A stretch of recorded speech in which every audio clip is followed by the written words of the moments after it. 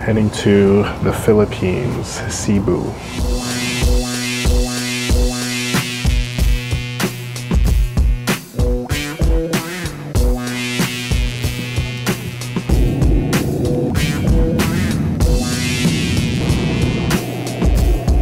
The plan is to leave the airport, take a taxi from the airport, and go to Cebu City Harbor.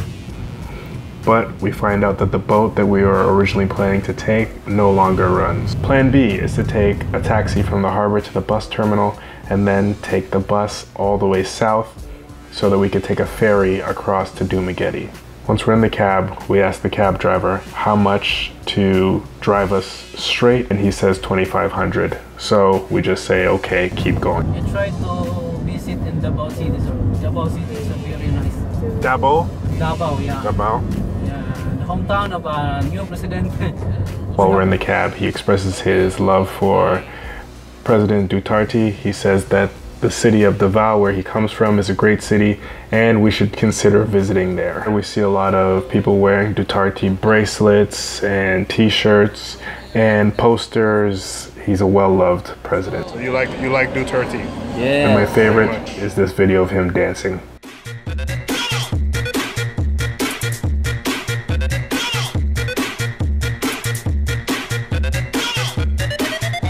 He's not popular very internationally, but he is well loved in the Philippines. We have no tending store on the road. We have no parking lot on the road and very clean on the road. Really? Yeah, we have no smoking on the road, no urinating, there's the road. Wow. Yeah. Arnell does not like Floyd Mayweather. Floyd Mayweather fight? Yeah, but I don't like also Mayweather. because Mayweather is a runner. My house now in uh, Mindanao is a, very near close to the house of Manny Pacquiao. Really?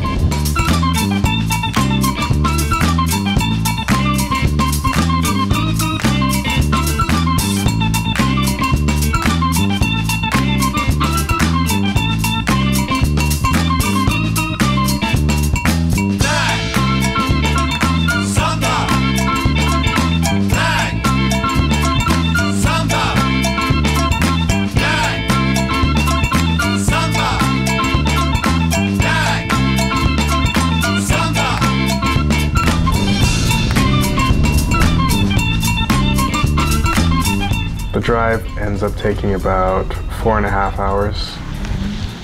I believe it was four and a half. I lose track of time. So now Arnell is leaving. Finally, we get to Lilioan.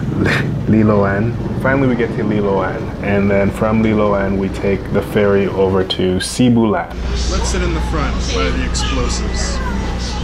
Now, I will admit that us being the only quote unquote foreigners on this boat makes me feel mad cultured.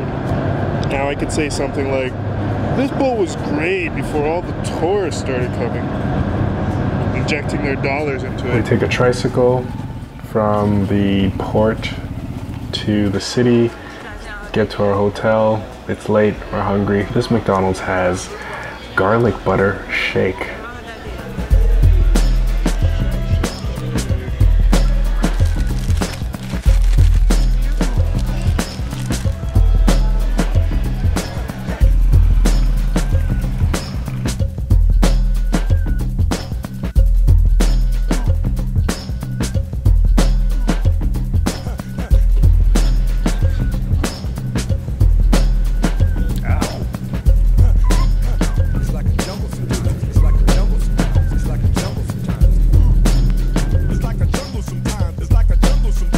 The weather's really good the next day, so we head to a local beach,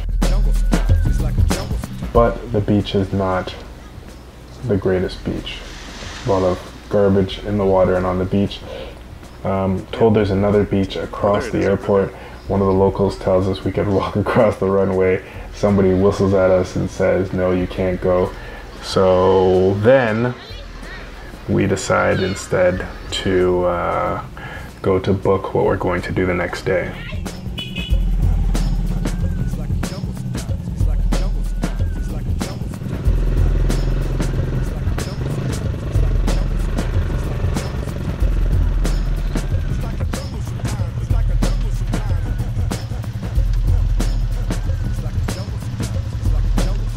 We go to Harold's mansion, and Harold's mansion has a little dive shop next to it and that's where we book our uh, trip to Apo Island. Apo Island is 1200 pesos per person for the day.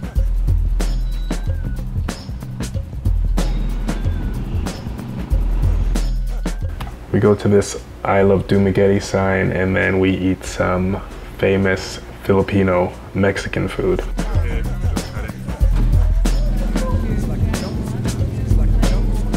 And before we go to bed, it's raining. Hopefully, it's not going to rain tomorrow.